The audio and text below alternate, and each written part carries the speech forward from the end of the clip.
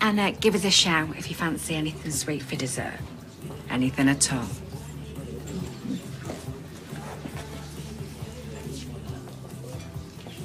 Hey, was he totally checking me out as I walked away? You know, like mentally undressing me with his eyes. Ooh. The honky builder over there. Oh, sorry, I wasn't looking. Oh, fat lot of good you are. Take it those are Stephen's bags in the back. Yes? He's moving in today. Ah, young love. So, do I have to buy some hair plugs? Oh. Oh, speak of the devil. hey! Thought you'd be at work. Uh, yeah, I, I wasn't feeling too well. A bit of a, a headache, so I left early. Oh, love. Guessing you lot have heard about the dead body as well, then? Yeah, Michael mentioned it. It's horrible, isn't it?